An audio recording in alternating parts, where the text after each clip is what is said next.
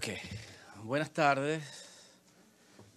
Eh, vamos a dar una pequeña introducción para responder a sus preguntas, pero es importante, me voy a referir a, otra vez. Las reglas son que quien me pregunte en español, respondo en español, and who asks me in English, I will answer in English. So those are the rules. Spanish with Spanish and English with English. Ok, pero voy a hablar en español al principio. Tengo un comunicado para su propia... Eh, I have a communique for ease of reference of what I'm going to read. It is uh, available in English and Spanish. And it's a summary of what happened today and then some comments, some short comments. I want to provide sufficient time for your questions. We informed the international community that the constitutional government of President Nicolas Maduro, with the support of every state democratic institution and Venezuela society in general, has defeated a new attempt by foreign powers to provoke confusion and disorder in the national territory. In the early hours of the day, a group of deputies from the National Assembly and a small group of low rank military personnel placed themselves on a bridge in the eastern part of Caracas and made a call for a military insurrection that was ignored by the forces of public order, including by the initial group itself of military personnel stationed there, who have since declared they were tricked by one of their superior officers. This media operation for destabilization has relied on the immediate complicity from abroad of the President of Colombia, the President of Argentina, the President of Brazil, the President of Chile, the President of Panama, the President of Paraguay, the U.S. Secretary of State Mike Pompeo, the White House National Security Advisor John Bolton, U.S. Senator Marco Rubio, the President of the European Parliament, and even the Secretary General of the OAS, who today was going to convene a meeting on Venezuela, knowing what would happen. All of whom, in an interventionist and criminal manner, made public calls for the Venezuelan military forces to disobey their legitimate commanders and thereby promote national chaos. The constitutional government of President Nicolas Maduro acted rapidly, isolating the focal point of public disorder with maximum attention to the safeguarding of the human rights. There has been no wounded thus far, and the fundamental freedoms of the Venezuelan people, preventing the indocent majority who have the right to live in democracy and in peace from being affected. In this way, President Nicolas Maduro showed once again that his government is the fundamental and only guarantor of peace and legitimate constitutional order in Venezuela. This new attempt by foreign powers to spark a civil war opened the doors to a military intervention from abroad and impose a puppet government in our country failed. It, it has the main reason for this is that it has become evident that this plan has no roots in Venezuelan society. The absolute majority of our people want to live in peace and with the full exercise of their sovereignty, independence, and right to self determination. Following the isolation of the aforementioned focal point of earlier today, the country is in total normality throughout the national territory. President Nicolas Maduro has taken the necessary measures to guarantee the security and the right of peace of our people. The institutions of public order and of the application of justice will be in charge of ensuring that the rule of law prevails in this situation that attempted through violent means to alter the national tranquility. We call upon the international community to reject this violent attempt promoted by foreign powers to destroy the constitutional order in Venezuela. And we alert that this new modality of open intervention in the domestic affairs of coup d'etats vi- flagrantly violates the purposes and principles enshrined in the UN Charter and the norms of international law, while also putting at risk the peace and security of the region. The international community should express a firm position in defense of the self determination of people, national sovereignty, and the right to peace of all nations. That's what we haven't written, which we will share shortly. But my comments will be very short. You see, earlier this morning, there was a very dangerous incident that was supported by the US government totally. They knew what would happen to the point that Mr. Bolton said earlier this morning, or actually minutes ago, he said that the coup failed, but there was much more important people involved, that he, and he knew what would come up.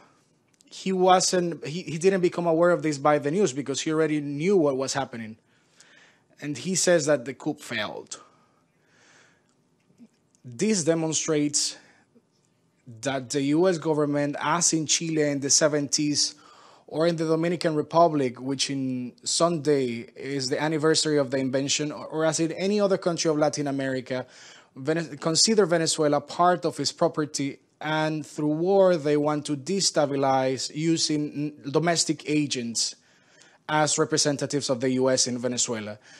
It was a dumb attempt, but very serious, very grave, because they do not have the vast support of the majority of the people or of those who control the order and security. What it demonstrated is that that puppet government who, who, who is planning to come here to the UN is just an arm of the US in Venezuela. It is shame. It is a shame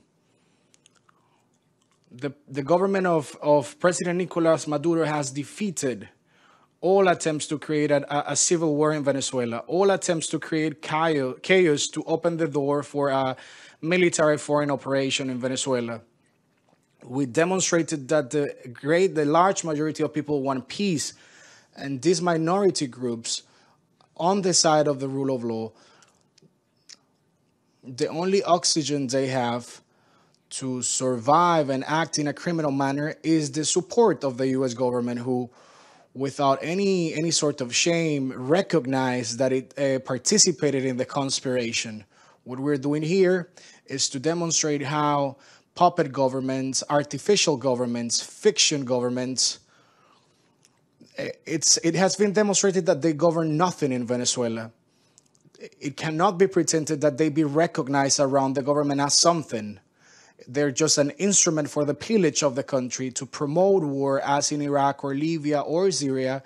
And in Venezuela, this psychopath elite, warmongering, full of hatred, are using all means uh, of information, diplomatic means, economic means, and now military means. Those four means information, war of information. This morning at 6 a.m., you would have thought that there were 60 generals in the coup, whole teams of militaries, that President Maduro was, was in jail at, at a barrack.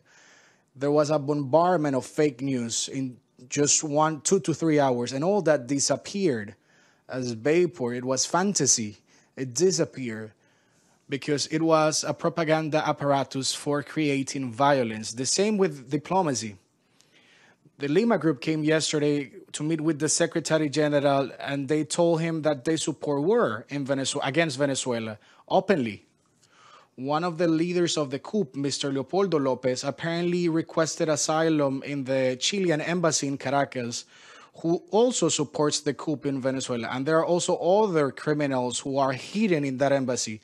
25 lower ranking officials who, who participated in the conspiration today. They are seeking asylum and now are in the embassy of Brazil, and Mr. Bolsonaro is giving them asylum.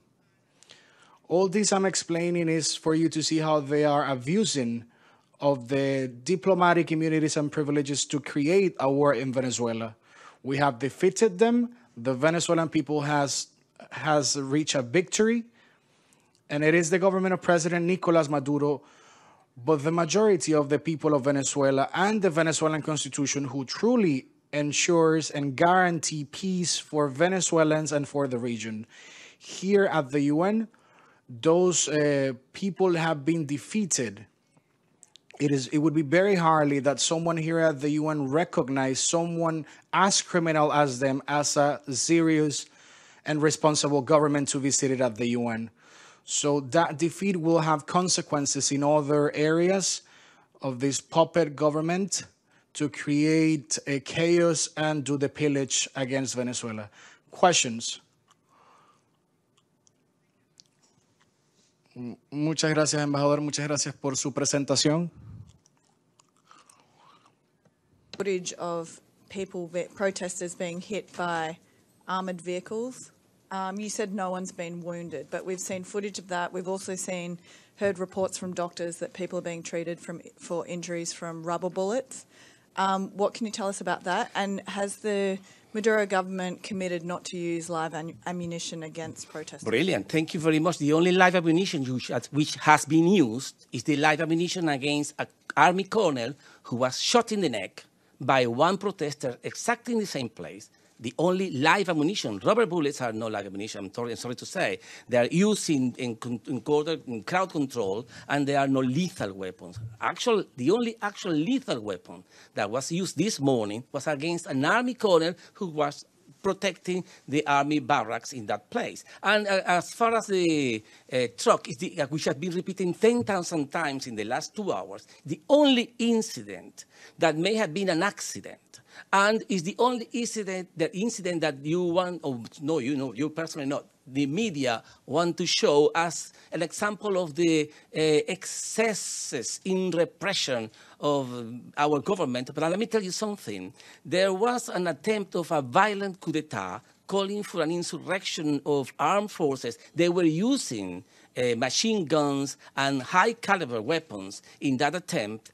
And uh, the potential of that uh, reckless attempt to create havoc and massive destruction in Venezuela was enormous. And it was the restraint of our government, in, which is used to, used to this kind of um, uh, street protest, which we can say that we were actually very fortunate to come out of it with as little uh, damage as possible. I mean, we are proud, I am personally proud, that something as dangerous as happened this morning uh, has finished with almost, we almost not, with no uh, lives to, uh, casualties to lament. ¿no?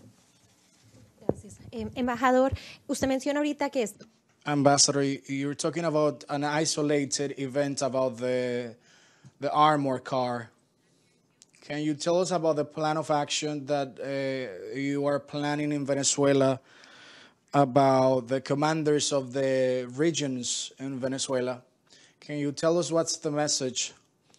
Because you're telling us that this has concluded, but the images are that people are still in, uh, in the streets we can see Leopoldo Lopez. These people are remain in the streets.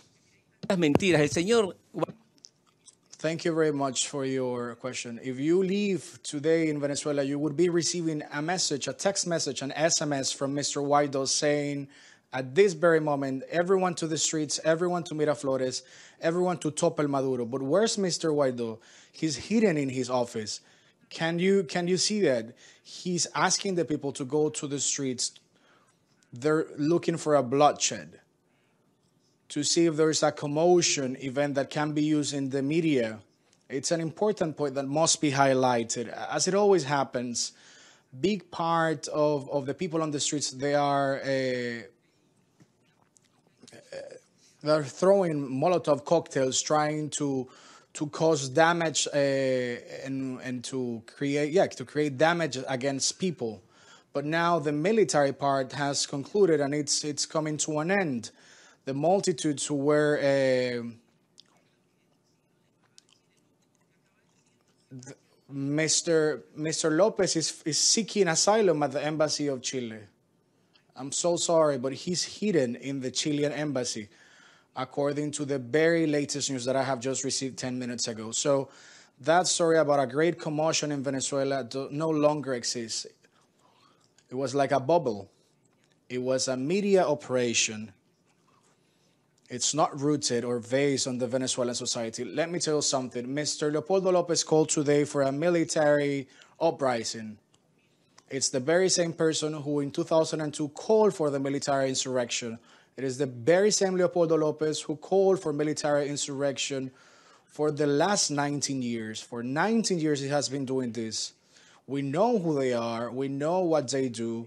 There's no uh, responsible military in Venezuela who can consider him as a leader of anything but only the United States. And Washington, they are celebrating.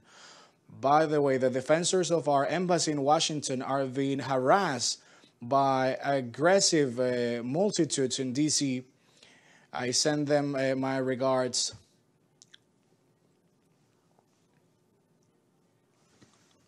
Microphone.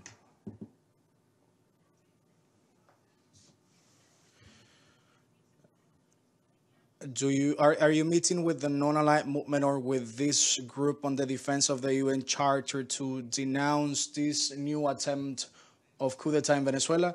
Right now, the coordinating bureau, uh, 15 meters away, is just meeting, and as soon as I finish here, I will go to the non-aligned movement to make the public denunciation of what happened and seek from the from the, the from these countries who share the same principles to support and express their solidarity with Venezuela to all those who share the same principles, sovereignty, self-determination.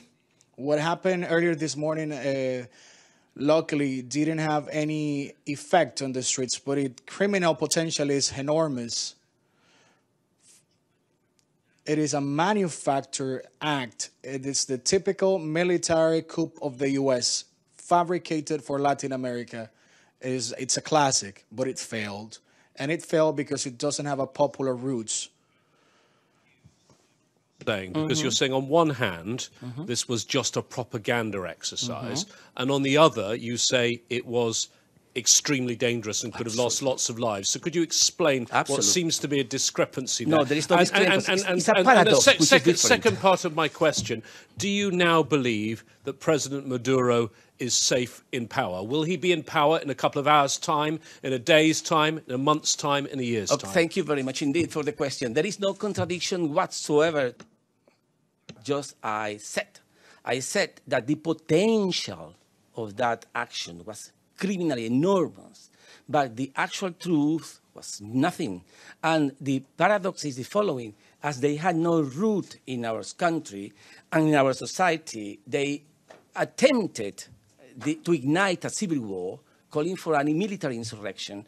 But as no one believes uh, in them, they achieved nothing. So the potential, the criminal intent was enormous, but the actual reality was nothing. So there is no contradiction, it's a paradox. And the second point is our President Maduro safe the next 30 minutes, half an hour, two hours? Well, uh, let me say, if these people is that that they showed this morning is all they got, we are safe for the next 20 years. I mean, they have nothing. The only thing they have, which is dangerous, is the American government. That's really something to count on. I mean, we are not afraid of our people. We are afraid, or not afraid, we are cautious and vigilant on this superpower let loose around the world, wreaking havoc. And they try to do the same in Venezuela. Thank you, Ambassador, on behalf of UNCA. First of all, I would like uh, to kindly remind that usually, per tradition of this room, the first question goes uh, to UNCA. Thank you. I'm and, uh, my name is Valeria Robecco from ANSA Newswire. Uh, my question is on the last word of U.S. Uh, National Security Advisor John Bolton. Is uh, is just said that has called out Venezuela's defense minister, head of Supreme Court, and head of Presidential Guard, and uh, he says that they, they agreed that President Maduro has to go. What's your reaction on that? Thank you. Again, propaganda. Listen, this is President Trump, by the way, the self-proclaimed president of the whole world, and also the actual self-proclaimed president of Venezuela, Mr. Trump. He's saying that he's very concerned about freedom in Venezuela. Mr. Pence also has just tweeted saying that they won't uh, let go the fight for freedom, freedom-loving people of Venezuela who are taking to the streets today, and we are with you. I mean, these are the actual leaders. Non-Venezuelan people can believe that these are the liberators on anything, you see? And uh, the problem is that they are trying to mix uh, people up by confusion and with this kind of info, infoware, information warfare, where they now say that the top officials in our country were involved in the coup and they failed to act uh, at the last minute. But the fact is that uh, uh, these very same people they are accusing, they also are sanctioned and they are threatening with jail and threatening to send them to Guantanamo. By the way, these people are so gangster-like. It's the only thing I can think of. This is uh, was published today. It's a no declaration by the Department of Treasury from the, you know, the American government when they say that anyone who joins the attempted coup this morning and if sanctions or is under sanctions, they will be free uh, from sanctions as soon as they join the coup. You see how they use as bait sanctions. This is a criminal uh, use of sanctions. This is no sanctions for freedom. These are sanctions for coup and violence. And these, they treat Venezuelans uh, officers as they treat mafiosi here in New York. And this is the wrong way to treat Venezuelans because they don't believe something as, as simple as this. We love our country. We are proud of being Venezuela and we need to be treated in a respectful way. They don't understand that thing. Yes, please. Uh, Mr. Ambassador, thank you. Um, what's going to happen to Mr. Guaido? Is he going to be uh, arrested? Uh, will he be criminally charged in some way? And if not, why not? Uh, you described him as the leader of an attempted coup. There is a cry in Venezuelan society for the man to be jailed, but I am not the president of Venezuela, nor the general attorney. The general attorney this morning said that he will act firmly. I can't predict what he is going to do. Uh, that's why I cannot also, I can't either uh, explain the military plans, that, the first question was uh, asked here before. Uh, I'm not the military planner or and the top military um, brass, but what I mean is that it's obvious that the man committed a crime. Sedition, for everyone to see. It's sedition, it's a crime, it's even a treason. The man is acting on behalf of a foreign power. In the United States or in any serious country, that man should be sent to prison. But let our state machinery and judiciary act. I cannot speak on behalf, on their behalf. Yes, please. Thank you very much, Mr. Ambassador. In case that the public order situation in the coming hours uh, worsens and there are additional clashes in the streets, what uh, kind of scenarios are you planning for in case the situation continues to be complicated? Although you're saying that peace and tranquility prevails in the country. Can you say that peace really won? Yes, I can tell that peace won. You see, for the last 20 years, we have been fighting this, the very same people talking about the very same things. One hour ago, I was explaining that uh, to a journalist that in Rio de Janeiro, in Brazil, Brazilians they dance samba, and they built a sambodrome, a place for dancing samba in Venezuela, they have their protest, uh, their place for protest. The only place they have is that area next to the barracks of La Carlota.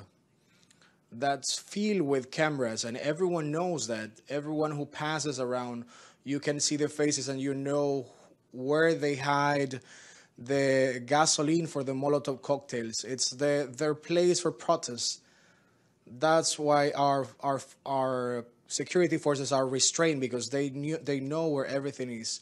That's the only place where uh, international media go because they see the people throwing Molotov cocktails there. But as far as they do it there, everyone does. No one cares because everyone knows that this is used for that purpose. The trouble is with with fake news because people start thinking that the situation is bigger than it actually is, but it deflated and those people are not leaders even at their very own home. The internal situation is under control. There's not a super plan ongoing. Ambassador, you have denounced that there are fake news, but how could you explain to people that while you say that everything is controlled and has been surpassed, the images are that people remain on the streets and also today, the United Nations asked uh, both parties to restrain to avoid violence. And, and the image going around the world is the arm car. Media are terrible. Uh, you, you saw people with arm, uh, with guns, people calling for military insurrection, throwing military cocktails, but the only image that you show is the armored car. That's the information warfare. Do you think that the man driving the the armored car it's a it's an assassin?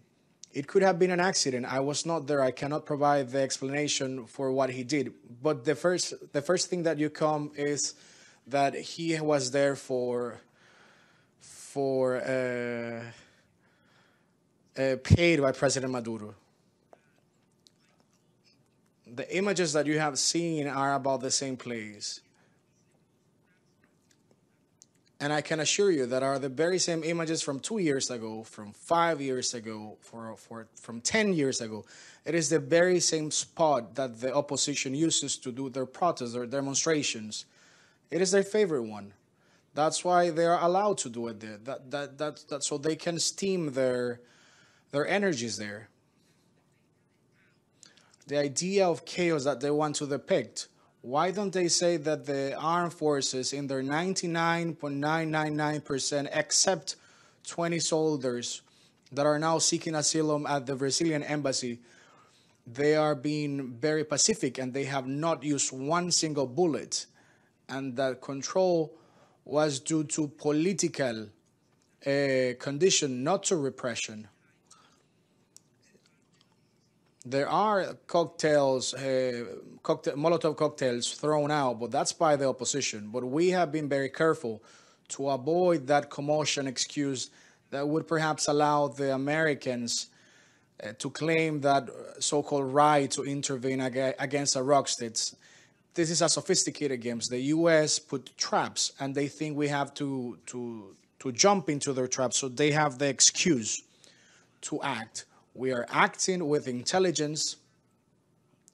We will win this politically. With all due respect, do you think this this is all the media's fault? No, no, no. I'm not saying that. But if you concentrate in just one single event, in the event of the arm car, about as, as if it was the event of the day, and you didn't understand that there was a coup d'état if you're telling me that the event of the day and last night you will summarize it what happened today is that one guy uh, ran over over someone else then you lose perspective. And i don't think that you are the entire pers- the entire media. There's a whole lot of the media. Sachs' uh, recent report, as Collective Punishment, the case of Venezuela, and I quote American sanctions are deliberately aiming to wreck Venezuela's economy and thereby lead to regime change. It's a fruitless, heartless, illegal, and failed policy causing grave harm to the Venezuelan people, which is essentially supporting what the foreign minister said last week. And uh, Kevin Zeese, the attorney Kevin Zeese, had said that the theft of what $30 billion of um, Venezuelan money by the US and the UK is modern day piracy, and he advised that you sue in an international court. Have you considered doing that? And as a follow up, do you expect that the US will take more um, actions through the United Nations to try and weaken your uh, government's presence here. Thank you very much. Let me say something in Spanish, which I'm going to repeat in English as well, about the Secretary General question. There was a question here before in Spanish about the Secretary General. La pregunta fue, el secretario general llamó a la restricción de ambas partes. Mire, yo tengo un problema con esa decisión del secretario general o su vocero. Momento, él no puede ser eh, imparcial cuando hay un gobierno reconocido en las Naciones Unidas, que es nuestro gobierno, aceptado por los cientos accepted by the by the member states and their credentials being accepted last year there was an attempt to overthrow it then the sg or someone else come right now to say that the parties must behave. Come on it's a legitimate government. So the idea is the secretary general has the duty to to maintain the stability of our country and the only government in Venezuela. I cannot declare that he de- accept that he declares himself as neutral in Venezuela.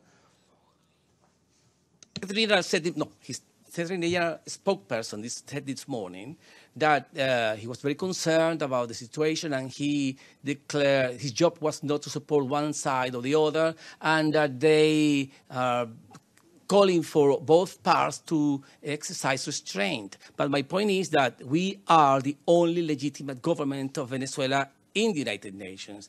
And the Secretary General should recognize that fact. And the event that happens this morning, which is that there was a reckless attempt, failed attempt, to overthrow by violence, by violence, our government uh, should call for the Secretary General to exercise his duty for calling for peace and the respect of our constitutional, democratically elected government and not to say that he's impartial or neutral or whatever other word, ambiguous word. Defense of the defense of peace in Venezuela goes through the defense of the constitutional government, which, as you could see today, is exercising restraint for the maintenance of our peace. And then, with your question, let me ask, answer that her question, which is very important.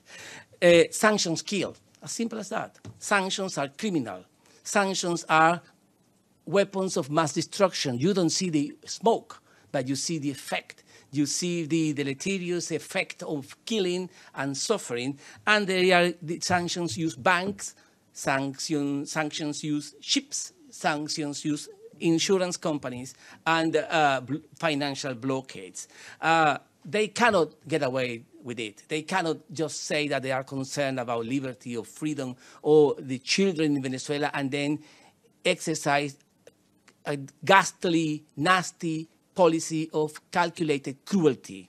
They are acting like torturers. It's a collective punishment. And you cannot, even if it's new, you could see for yourself that it's not the only time that they have tried to choke, to strangle a country using these kind of measures. And we are fighting against that, and we are denouncing this criminal attempt. And uh, it's ridiculous that they try to play both uh, roles the balls of the killer and the balls of the savior. It's ridiculous. We have to fight that back. Let me. Amb- Ambassador, and, uh, can you tell us why you cut our signal? Uh, we won't be able to show your comments today. CNN signal has been cut off in Venezuela. Will it, be, will it last as long as the CNN Espanol cut, which was 2017? What's the reason? How long will it go?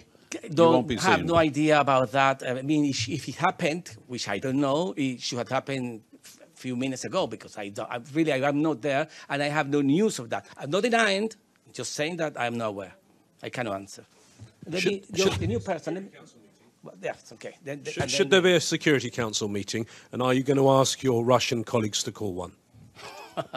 Brilliant. Not just the Russians are the only ones who can call for a Security Council meeting. No, I but think, they're your close allies. Yeah, yeah, but well, we have friends all over the place, not just the Russians. This is an important thing. This is 193 countries, and we're proud of our friends. And uh, but the idea is that this should be a reason for a Security Council meeting, of course, and not just to beat to Venezuela bashing, which is the favorite exercise of the P3 here. P3 meaning UK, United Kingdom, France, and, and, and the US. I mean, why, when there is a criminal attempt so clear in Venezuela to uh, sabotage and to destabilize our peace, why no one cares in the, at the Security Council? They should be calling for one. This is something important, and we are anxious to go there and to expose the criminal attempts against our country. Yes, please. ¿Tienen una idea de cuántos militares se? Do you have an idea of how many uh, how many military participated? And you said that some are in the Brazilian embassy. Where are the rest? How many military? Uh, there was uh, it was like 100 uh, members who protect the National Assembly. That's why they were close to the gentlemen who participated in the coup. But the lower ranking I can uh, you can see here and I can show you the video later. You can see this gentleman from the military saying that I was they lied to me. My superior told me that there was a trouble in that area. All of us went there, but when we arrived we saw what was happening and then we left and they were threatening us with weapons when we wanted to leave. Many of us left despite all the threats but only 20 remain in that area who are the ones seeking asylum. There, there were 180 left, and 20 are seeking asylum. That's why there was no need for repression or anything like that, or for the use of lethal uh, weapons. Look, in 2004,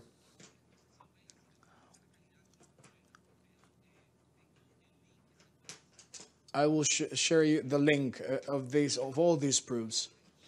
In 2004, I want you to listen to this.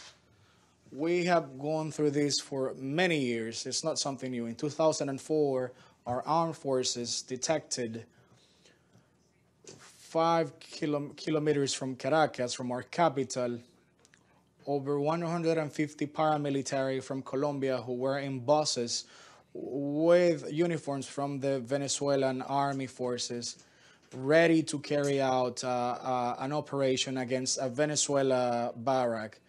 That was carried out on, with the consent of President Uribe of Colombia. By the way, the government of Colombia is very conscious of what happened and participated in this coup d'etat.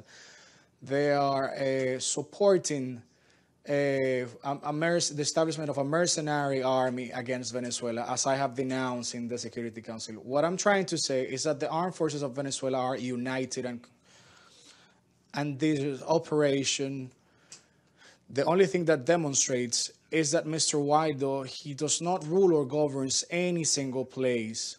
And those people are seeking asylum in the embassy in Brazil because they are they have participated in the coup. Today oh, ever- brilliant. This is good. Uh, okay, what happened to the U.S. and our credentials? They are going for it. They are working hard. They are planning. They are campaigning. They are talking to everyone. But today's event, I don't think it would be helpful. You see? What happened today, they tried to convince everyone that that man, this morning on that bridge, was the president of Venezuela, and we were uh, usurpers. We were dictators. We were rogue states. But sorry to say, what it actually showed is that the uh, overwhelming majority of Venezuelans want peace, don't recognize that puppet as anyone's representative. If, if, it's, if he's a representative, he's a representative, representative of the United States. And uh, I think it has weakened his uh, case here at the United Nations. Go for it. We're waiting. Everybody's working for it. They think that they can convince the world that that man is the actual president of Venezuela. He showed it himself this morning. Embajador. There is another, another question. The, you with glasses, yes.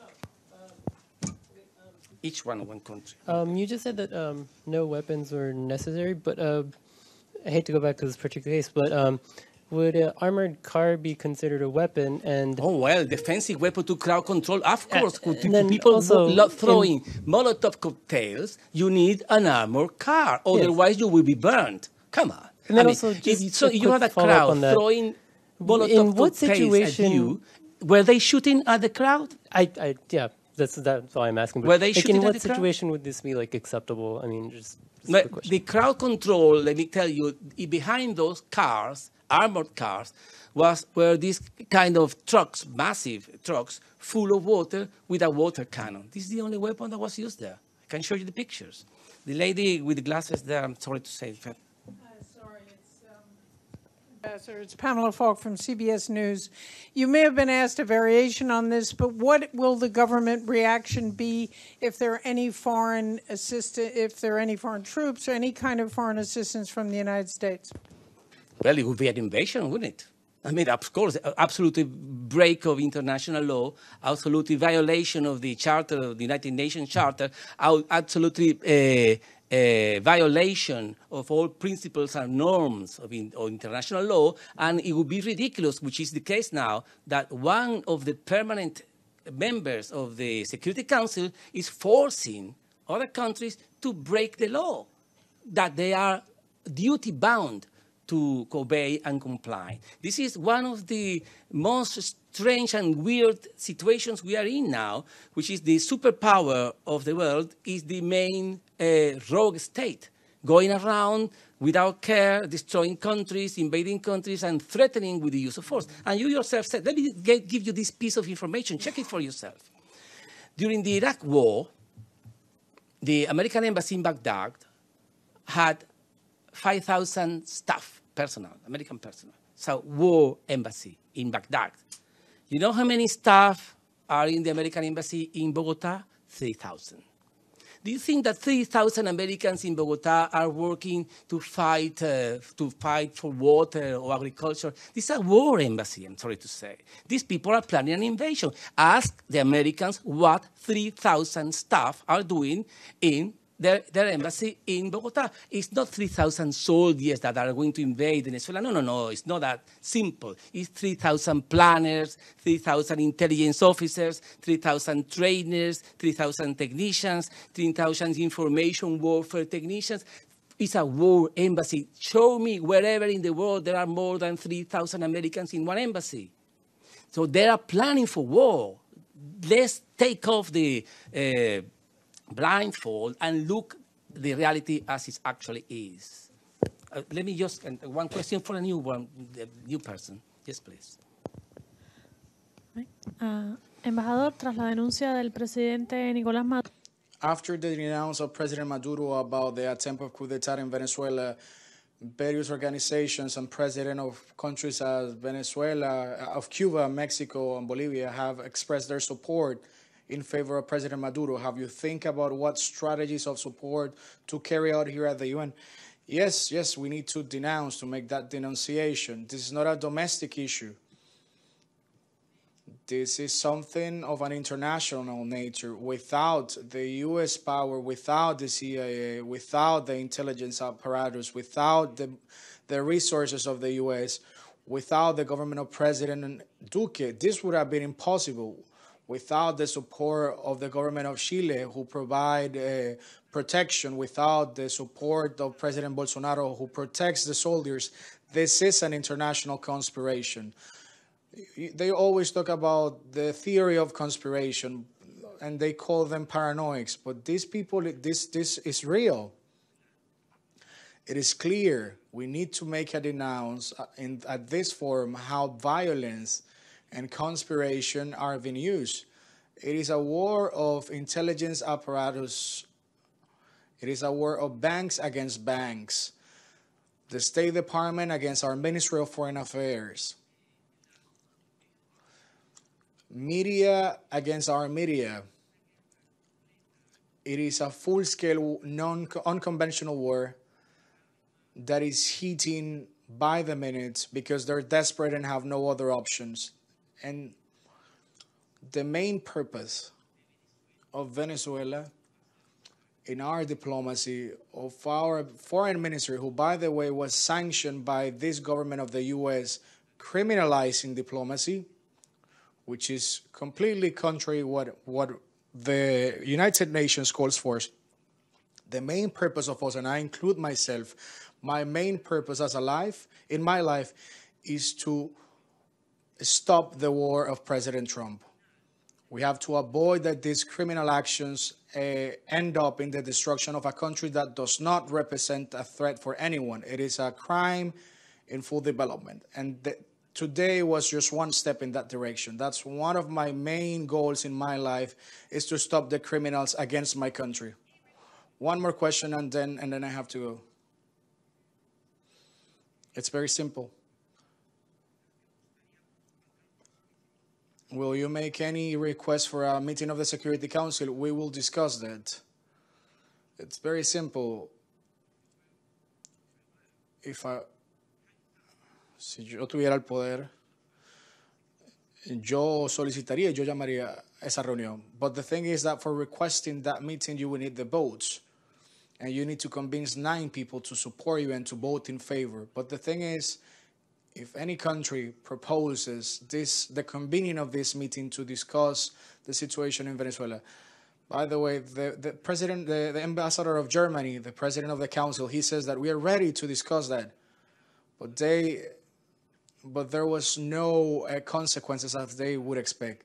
Are they still ready now? Ready now to to to conduct the meeting? It does not depend on me, but on those nine countries. If it was for me, tomorrow we will have that discussion.